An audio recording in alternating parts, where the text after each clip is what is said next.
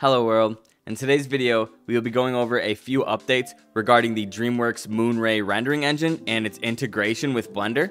First, we'll be going over the latest developer post in the Blender developer forums. Next, we'll be talking about the Moonray forum, which just recently opened up on the Open Moonray GitHub. And lastly, we'll be taking a look at the Hydra USD add-on, which is currently the main pipeline of how they plan on getting Moonray into Blender. I have the Hydra add-on running on Blender 3.4.1, and this example scene we're looking at is the Pixar Kitchen USD loaded inside of Blender. We'll talk a little bit about this at the end of the video. Starting with the developer post. Yesterday, we got our first official post on the developer forum from an actual Blender and Cycles developer. Brecht van Lommel shouts out to you, and I'm sorry for the mispronunciation, of course. To summarize, they discuss a few different things here. Uh, this first main paragraph is talking about the Hydra USD add-on that I mentioned, and how this will be the main path line going forward for getting the renderer to work inside of Blender. Next, they talk about how Moonray uses GPU acceleration for ray intersection, but almost everything else runs on the CPU, and they talk about how this is not what most Blender workers are used to.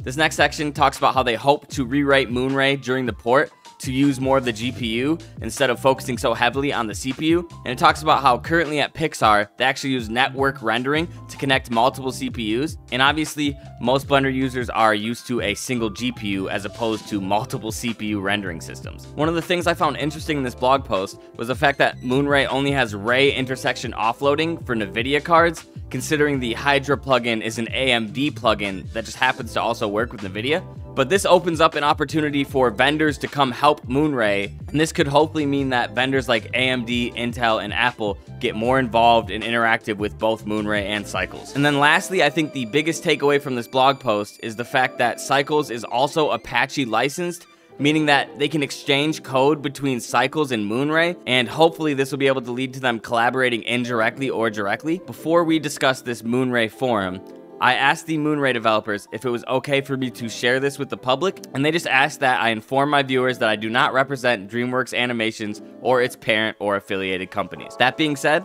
Moonray has gone out of the way to create this awesome forum here where we can ask questions, discuss problems that we're running into, share ideas, showcase work we've done, and just engage with the community in general. If you have a GitHub account, I'll just have the link posted below and you can come interact with the community. They seem to be super active, responding to everybody and discussing different ways to implement Moonray, as well as helping people troubleshoot and get their builds around. If you plan on being active in the Moonray community, feel free to go head over to the forums and show some love and say hello. One quick thing I wanted to mention before the Hydra USD add-on. I found it really cool that in the Moonray sizzle reel, there was a few different blend swap files that they used to showcase the rendering.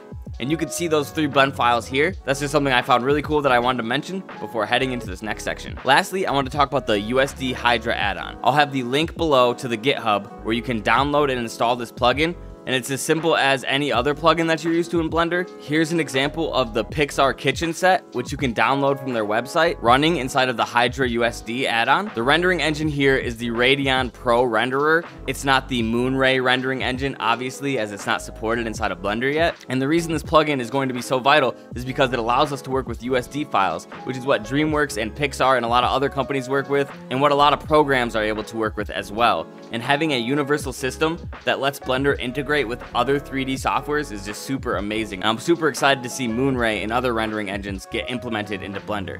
One last thing I want to mention about the Hydra USD that I find super cool is it allows you to take any USD file and then add in Blender data into that file and combine them, essentially taking any object or scene from Blender and adding it into the USD scene. The only problem, as you see here, is that the USD materials weren't registered with the system, so my materials are coming up as invisible. And there's a lot to go with that, but that's not what this video is about. Hopefully this process will be seamless and smooth in the future. Overall, I'm super excited for the implementation of Moonray into Blender, both because it's a new and exciting rendering engine that I've seen my whole childhood, but also because it's pushing forward the future of USD and USD integration being a part of Blender. And that's super excited to see. If you want more updates like this, make sure to like and subscribe, and I'll try to keep you guys as updated as I can. So much love and peace.